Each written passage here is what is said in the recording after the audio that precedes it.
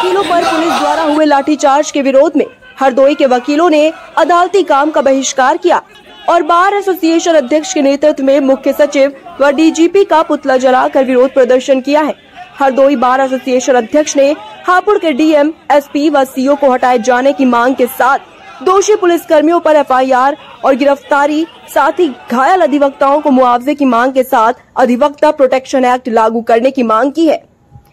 हरदोई में bar association के अध्यक्ष उदयवीर सिंह भदौरिया के नेतृत्व में प्रदर्शन कर रहे वकीलों की मांग है कि हापुड़ के डीएम, एसपी और सीओ का तत्काल तबादला किया जाए। साथ ही घायल अधिवक्ताओं को मुआवजा दिया जाए और दोषी पुलिस अधिकारियों और पुलिस कर्मियों के खिलाफ एफआईआर दर्ज कराई जाए। वकीलों के हड़ताल के कारण कोर्टों में केस की सुनवाई नहीं हो सकी।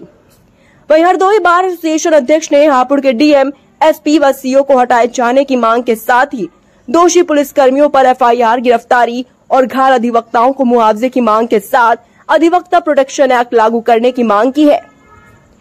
एसपी ऑफ़िस के गेट पर डीजीपी व कलेक्ट्रेट के मुख्य सचिव का पुतला जलाया गया। वहीं इस मौके पर बार एसोसिएशन हरदोई के अध्यक्ष उदयवीर सिंह भदौरिया, महामंत्री Adarsh Pandey, advocate Vijay Mohan Vajpayee advocate Preeti Dwivedi, advocate Samta Sharma, advocate Ayub Khan advocate Arif Ansari समेत अधिवक्तागण मौजूद रहे।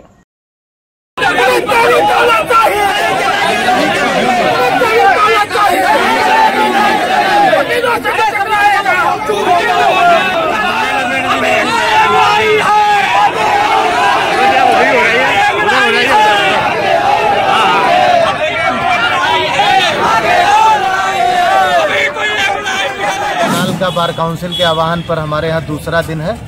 और आज प्रमुख सचिव और पुलिस महानिदेशक का पुतला हम लोगों ने फूका है और विरोध ऐसे ही और बढ़ता जाएगा। अगर हम लोगों की मांगे नहीं पूरी होती हैं, जब तक एडवोकेट प्रोटेक्शन एक्ट नहीं लागू होता है और जिन पुलिस कर्मियों ने बर्बरतापूर्ण मारपीट की है हापुड़ में, उनको जब तक सस्पेंड नहीं किया जाता है, तब तक हम लोग हड़ताल अनवरत जारी रहेगी।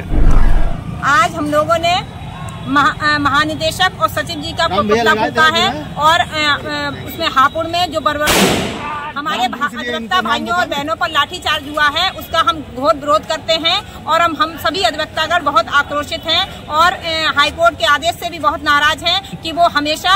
हम लोग वकीलों को दबाने का प्रयास करते हैं और हमारी आवाज़ को दबाने का प्रयास करते हैं और हमारी आवाज़ दबने वाली नहीं है। हम भले ही शांतिपूर्ण आंदोलन करें लेकिन हमारा आंदोलन जारी रहेगा। जब तक अधिवक्ता जब तक अधिवक्ता प्रोटेक्शन एक्ट लागू नहीं होता। आज हड़ताल का कौन सा दिन है और आज आप लोग ने किसका पुतला फूका है? बार एसोसिएशन हरदोई द्वारा उत्तर प्रदेश बार काउंसिल के निर्वाहन पर आज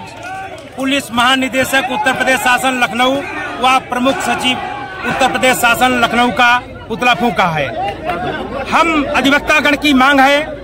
कि पुलिस प्रशासन हापुड़ व जिला प्रशासन हापुड़, जिन्होंने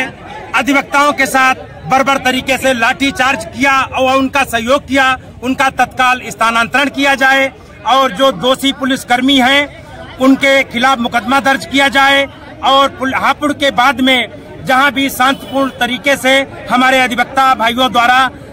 प्रदर्शन किया गया, अपना ज्ञापन दिया गया, उसमें भी पुलिस बल के द्वारा जो है उत्पीड़न किया गया, उनके खिलाफ भी एफआईआर दर्ज की जाए। अधिवक्ता प्रोटेक्शन एक्ट लागू किया जाए और घायल अधिवक्ताओं को